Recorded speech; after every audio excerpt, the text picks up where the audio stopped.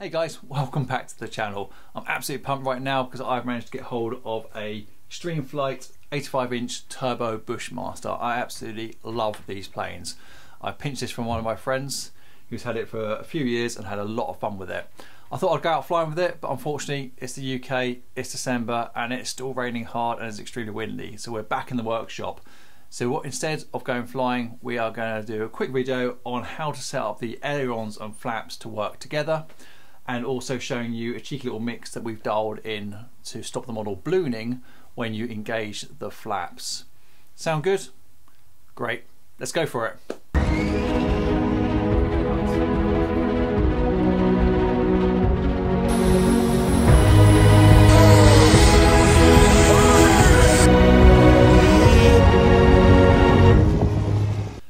Okay guys, so let's start off by actually turning this model on and showing you the exact effect we're looking for and how it works.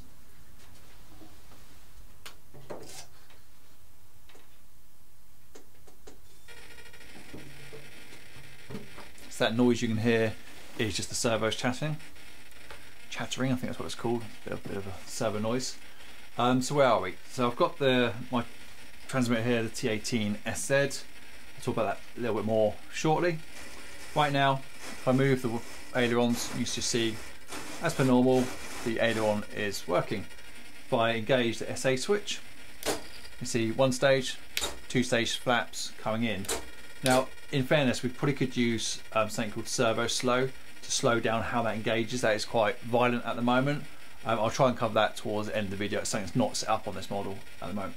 But if you also turn around, we'll just focus towards the, the rear end. I'll see if I can swing you around a little bit, actually might help. And zoom you in a little bit.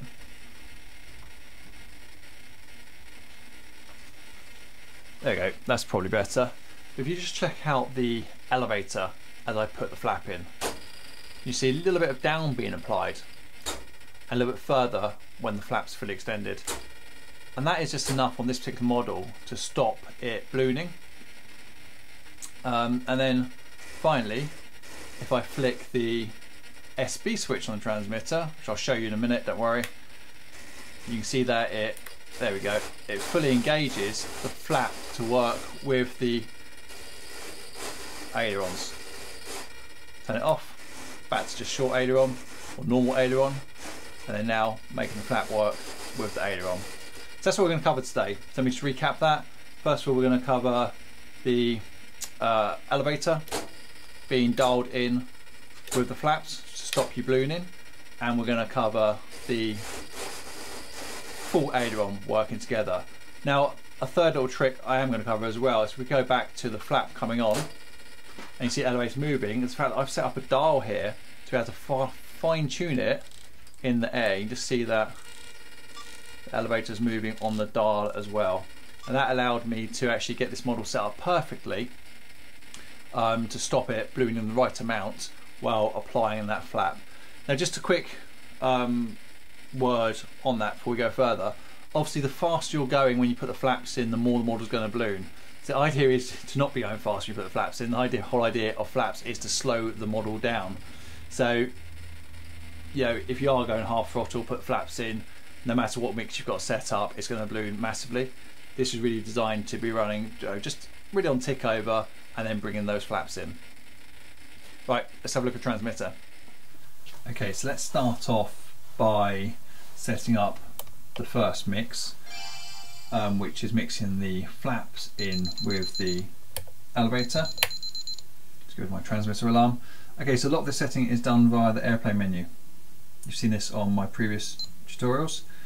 Um, so on this menu, if you come into here and you, you'll see a whole bunch of premixes.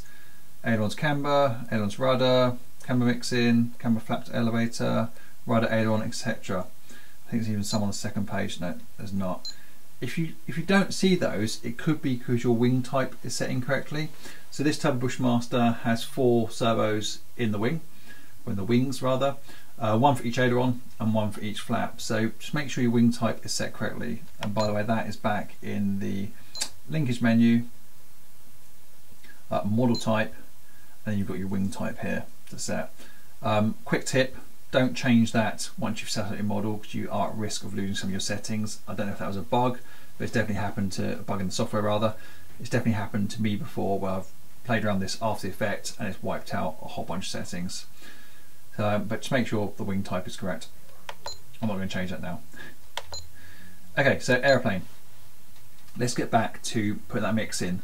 So think about what we need to do. We want to do something when the flaps is applied. So therefore our primary are the flaps and our secondary is going to be the elevator. So when the flaps, the primary is applied, we want to do something with the elevator. So camber flap to elevator mix is what you want. And this is a mix that's built into transmitter already, uh, which is absolutely awesome. So let me talk you through the screen. So a similar graph that we've seen before, we've been setting up AFR, dual rates, etc. As I move sorry, as I move the switch, you can see it changing positions. So flaps off, or no, sorry, full flaps, way through to, to flaps off. Um, but the trick here is to also set the RD switch. So the RD dial on this one is set up for the fine tuning section and it's just in rates in increment of 50s. So Again, that's how you configure the switch. You've seen that before as well. But that's what allows me to fine tune the flaps. Oops, sorry, I've gone one step too far there.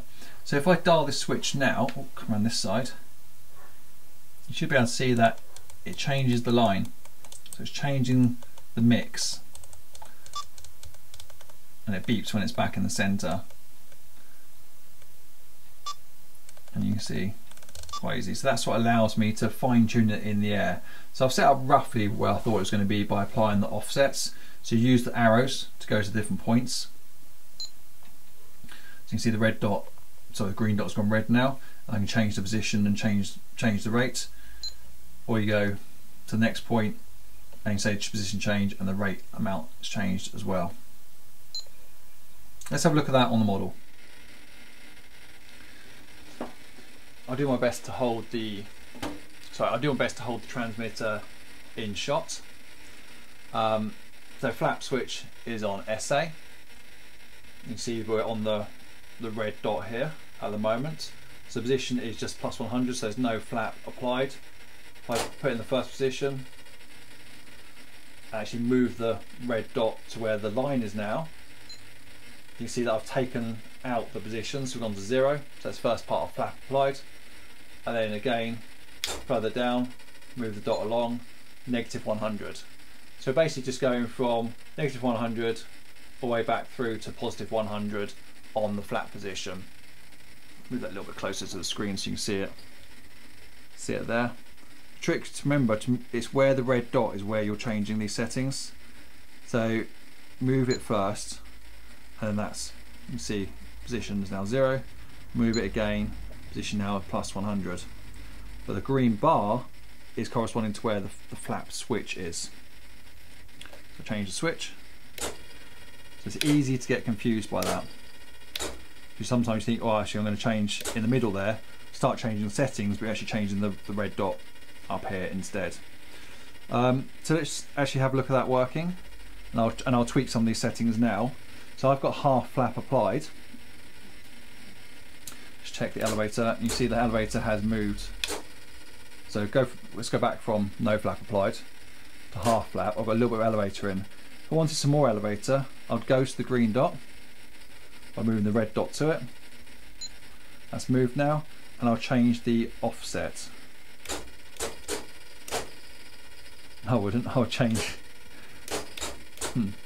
One second. Let me just have a think about this.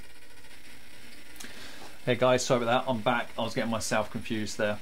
Um, let's let's reset that. So there's no flap applied at the moment. Uh, my switch is in the far up position, the green line here. My red dot is now lined up with that, and you see I've got position plus 100, rate minus 4, and it's the rate which controls the amount of elevator applied. So let's move the switch into the middle position, so half flap applied, but move the red dot as well, you see this sort of 65 or negative 65. So if I wanted a little bit less, I'll just change that 65, um, increase it, just use a stick to do that. There we go. and you might be able to see just, if I exaggerate that, you can just see the elevator moving in the background. Put it back to 65 and you see the graph moving as well. So a little bit misleading because you have to remember to move the red dot and that's exactly what I forgot to do just a minute ago. Move the red dot again and move the switch at the same time as my recommendation. You can see I'm now on negative 135 and that's the rate that this mix is applying to the elevator for us. So the primary is the flaps, the secondary is the elevator. It's a good way around to think about it. But these are two bits you want to play with. My advice to you is just do one part a time. So just put, get the flap back to the first position and play around this one first. Make sure you get that set right correctly first and then go and try it. If that feels right, then try it with more flaps. Of course, you could be using your flaps on a slider, so on the slide controls, on the side of the transmitter, that's absolutely fine as well. If you are doing that, just add more points in. So you can simply go to, it's hard for me to do at the moment, but you actually just go in and add add new point in. I can only remove them because I can't move to a gap where there isn't a point because I'm on a switch. I hope that makes sense. Right, so I hope that makes sense. We've covered adding the dots in. Sorry, we've covered changing the positions, changing the rates. Top tip is to make sure you're looking focus where the red dot is because that's what you're changing. You're not changing where the, where the line is, you're changing where the red dot is.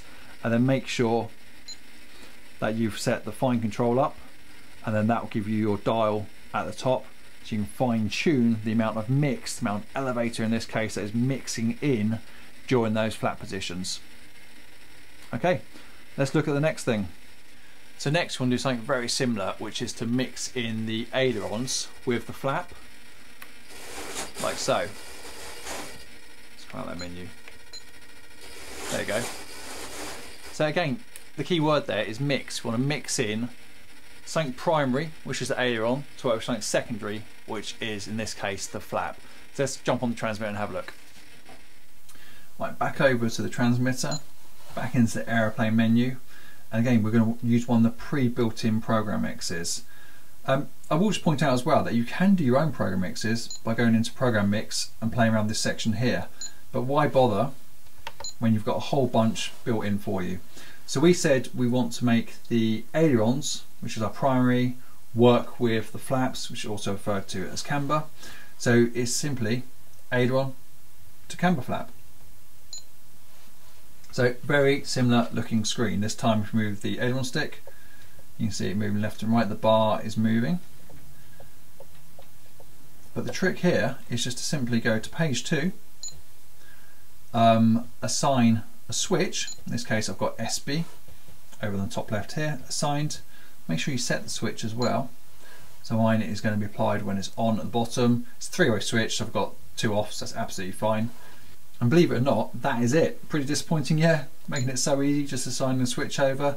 But it's because the Futaba transmitter knows that this is a pre-built mix. It's, it's set that it knows what ailerons are, knows what camber flaps are, so it knows it's going to mix these two functions together to make it work. You can play around the rates, but I do all the rates and all set up in flight conditions and I've covered that already on another video. I'll make sure that's linked below for you and I'll try and put a card on top of this video at the moment so you can jump across to have a look at how I set up flight conditions to control everything within my AFR on a switch. You can change how the aircraft is, is set up in flight. But that's it, that's all you need to, need to use. Um, let's flick over to the model and have a look at that working. Okay guys, the model's on, you can see the transmitter at the moment, left, right, flaps aren't moving. Apply that mix to turn that mix on, which is set to the SB switch. You can now see that they're moving together. A lot of movement there, so I've got flight conditions set up. Turn this off of 3D and put it back into normal mode. slightly less movement. So super easy. So quick recap then. We did that by going into the model, into the airplane menu. From airplane menu, we used the pre-built in program mix, which is aileron to camber flap. You can go and play your own program mixes, but why bother it's there already? And all we did is went to second page and set the switch to SB. Click the switch, get it set. Nice and easy. So that's it. Oh no, we're going to have a look at seeing if we can bring those flaps in slowly, won't we? Because at the moment they're quite quite violent when they come in. It's probably going to make the model jump quite a bit. So let's see if we can slow those servos down or slow that servo down. Okay guys, I'm going to show you this just by holding the transmitter up because it's quite quick to set. So servo speed is set within the linkage menus. The idea here is to have the flap come in gradually when you flick the switch rather than violently. So go to linkage, go to servo speed, we've got flap and we've got flap 2. I'm just going to change one of them so you can see the difference. Um, I'm probably going to dial in a little bit more than I would not normally. So I've dialed in 20 and let's see the difference it makes on the model. Zoom in very slightly for you. You can just see both flaps there on that particular shot. Let's start, flick the switch, but watch this flap should move slower than the flap you can just see at the top of the screen. Much nicer.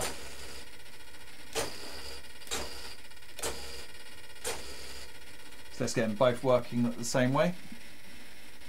Let's go to the other flap channel, flap function rather.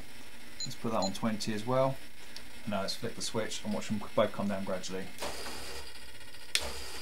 Oh, very nice. I think we'll leave that set for next time we fly it. Yeah, so definitely take a look at that. Take a look at the servo speed. Again, quick recap. Linkage menu, servo speed, set the amount you want. I think you can also go the other direction. Let's, let's try that. No, beg your pardon, you can't. All you do is slow down. It wouldn't make sense to speed up with it thinking about it. Fair enough. Always learning. Okay guys, so we are about done. Hopefully I'm going to get to keep hold of this Extreme Flight Bushmaster for a little bit longer and actually take it flying. Hopefully my mate Nick will forget about that. So shout out for Nick. Thank you very much buddy for lending us the plane today. Um, guys, it's pretty easy to set up. Give it a go. If you've got any questions, drop a comment in the bottom of this video and I'll do my best to respond to it for you. I'll leave it there. I'll just leave you a few clips of this bush up in the air. See you next time round. Cheers.